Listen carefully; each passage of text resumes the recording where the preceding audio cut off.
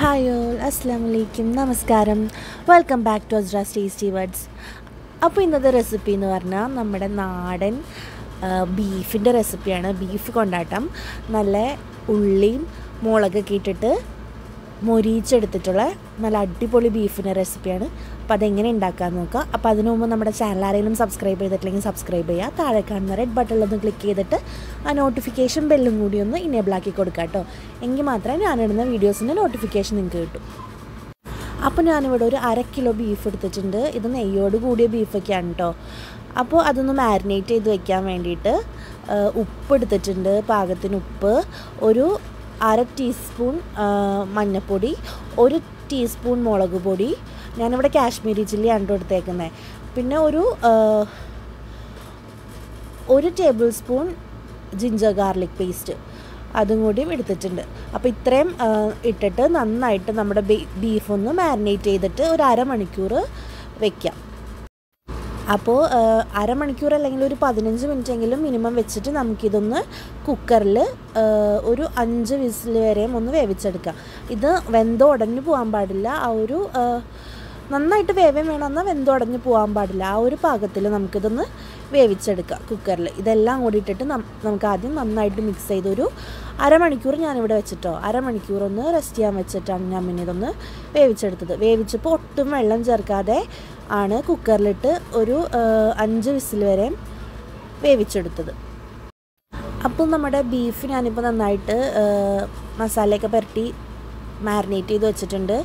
ഇനി ഇത് റെസ്റ്റ് ചെയ്യാൻ വെച്ച ടൈം കൊണ്ട് ഞാൻ കുറച്ച് ഉള്ളി കുറച്ച് മുളകും എടുത്തിട്ടുണ്ട് കേട്ടോ അപ്പോൾ ചെറിയുള്ളിയാണ് ഇതിന് ഏറ്റവും ബെസ്റ്റ് ചെറിയുള്ളി തന്നെ വേണം. എന്നാൽ അത്ര ടേസ്റ്റ് ഉണ്ടാവുള്ളൂ. അപ്പോൾ ഞാനിവിടെ ഒരു പത്ത് വച്ചൽ മുളകില്ലേ ഉണക്കമുളകും പിന്നെ ഒരു പത്തോ പതിനഞ്ചോ ഉള്ളി ചെറിയ ഉള്ളി എടുത്തിട്ടുണ്ട്. ഇതൊന്ന് ചതച്ചെടുത്താൽ മതി. ഞാൻ ഇതൊന്ന് ക്രഷ് ചെയ്തെടുത്ത മറ്റേ നമ്മുടെ ഇടിക്കണ കല്ലിൽ ഇട്ടിട്ടൊന്ന് ചതച്ചെടുത്താൽ മതി ഇത്. അപ്പോൾ ഇത് ഞാൻ ചതച്ചൊക്കെ എടുത്തിട്ടുണ്ട്. അപ്പോൾ ദേ കുക്കറിൽ ബീഫ് വേവിക്കാനും വെച്ചു കേട്ടോ അപ്പോൾ ഇപ്പോൾ ദേ നമ്മുടെ ഒരു അഞ്ച് വിസിലൊക്കെ കഴിഞ്ഞ് നമ്മുടെ ബീഫ് വെന്തൊക്കെ വന്നിട്ടുണ്ട്. അപ്പം നമ്മൾ ഒട്ടും വെള്ളം ചേർക്കാതെ തന്നെയാണ് ബീഫ് വേവിച്ചെടുത്തത്. അപ്പോൾ ചെറുതായിട്ട് കുറച്ച് വെള്ളവും കൂടി ഉണ്ട്. അപ്പോൾ നമുക്കിനി ഈ ബീഫൊന്ന് ഒരു നോൺ സ്റ്റിക്കിന്റെ പാനിലേക്ക് മാറ്റാണ്. എന്നിട്ട് ആ ഒരു വെള്ളം ഒന്ന് വറ്റിച്ചെടുക്കാം നമുക്ക്. അപ്പോൾ നമ്മുടെ ബീഫ് ഫുൾ ഇട്ട് കൊടുത്തിട്ട് ആ വെള്ളം ഒന്ന് മീഡിയം ഫ്ലെയിമിലിട്ടിട്ട് വറ്റിച്ചെടുക്കുകയാണ് എന്നിട്ട് ആ വെള്ളം ഒന്ന് ചെറുതായിട്ടൊക്കെ വറ്റിയൊക്കെ തുടങ്ങുമ്പോഴത്തേനും നമ്മൾ ചതച്ച് വെച്ചേക്കുന്ന ആ ഒരു ഉള്ളിയുടെയും മുളകിന്റെയും ആ ഒരു മിക്സ് അതിലേക്ക് ഇട്ട് കൊടുക്കാം അപ്പോൾ ഈ ഒരു ബീഫിന്റെ റെസിപ്പിയിൽ ഞാൻ വേറെ മസാലകളൊന്നും ചേർക്കണില്ല. ആ ബീഫ് വേവിച്ചപ്പോൾ ഇട്ട ആ ഒരു മുളക് പൊടിയും മഞ്ഞൾപ്പൊടിയും ഇഞ്ചി വെളുത്തുള്ളിയുടെ പേസ്റ്റും അല്ലാതെ വേറെ കുരുമുളക് പൊടിയോ ഗരം മസാല ഒന്നും ചേർക്കണില്ല. അപ്പോൾ ഈ ഒരു ഉള്ളിയുടെയും മുളകിന്റെയും ടേസ്റ്റാണ് ഈ ഒരു ബീഫ് കൊണ്ടാട്ടത്തിന്റെ മെയിൻ ടേസ്റ്റ് അപ്പോൾ ഇതേ ഉള്ളിയും മുളകും കൂടി ഇട്ട് കൊടുത്തിട്ടുണ്ട്. അപ്പോൾ ചെറുതായിട്ട് വെള്ളമുള്ളൂ വെള്ളമൊക്കെ നന്നായിട്ട് വറ്റിയൊക്കെ തുടങ്ങിയിരുന്നു. അപ്പോൾ ഉള്ളി മുളകും കൂടി ഇട്ടിട്ട് നന്നായിട്ട് തന്നെ മിക്സ് ചെയ്യുക ഇതിൽ നമ്മൾ കാശ്മീരി മുളകാണ് ബീഫിൽ ആദ്യം മാരിനേറ്റ് ചെയ്തപ്പോൾ ഇട്ടത്. അപ്പോൾ ഒരുവിധം നല്ല എരിവ് തന്നെ ഉണ്ട് അപ്പോൾ ഇതൊന്ന് ഉള്ളി മുളകൊക്കെ ഇട്ട് കഴിഞ്ഞിട്ട് ഞാനൊരു മൂന്ന് ടേബിൾ സ്പൂൺ വെളിച്ചെണ്ണയും കൂടിയും ഒഴിച്ചു കൊടുത്തിട്ടുണ്ട്. അപ്പോൾ നമ്മൾ ഈ ഒരു മൂന്ന് ടേബിൾ സ്പൂൺ വെളിച്ചെണ്ണയാണ് ഇതിലേക്ക് ആകെ ഒഴിക്കുന്നുള്ളൂ. ഈ ഒരു വെളിച്ചെണ്ണ കിടന്നിട്ടാണ് ഇതൊന്ന് നന്നായിട്ട് മൊരിഞ്ഞ് മൊരിഞ്ഞ് വരുന്നത്. അപ്പോൾ കുറച്ച് ടൈം എടുക്കും. നമ്മൾ ഇടയ്ക്കൊന്ന് ഇളക്കി ഇങ്ങനെ കൊടുത്തോണ്ടിരിക്കണം അപ്പോൾ ഇതേ ഇപ്പോൾ കണ്ടില്ലേ നന്നായിട്ട് മുരിനൊക്കെ തുടങ്ങിയിട്ടുണ്ട്. ഉള്ളിയൊക്കെ നന്നായിട്ട് വാടി തുടങ്ങിയിട്ടുണ്ട്.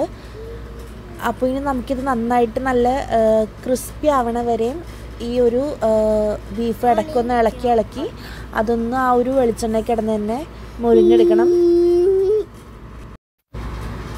പിന്നെ ഈ ബീഫിൽ കുറച്ച് നെയ്യൊക്കെ ഉണ്ടായിരുന്നു. ഒരുപാട് നെയ്യുള്ള ബീഫാണെങ്കിൽ ഒരു രണ്ട് ടേബിൾ സ്പൂൺ വെളിച്ചെണ്ണയൊക്കെ മതി. ബീഫ് കുറ നെയ്യ് കുറവാണെങ്കിൽ ഒരു ഒരു ടേബിൾ സ്പൂൺ വെളിച്ചെണ്ണ കൂടി കൂടുതൽ ഒഴിച്ചു കൊടുക്കുക കേട്ടോ.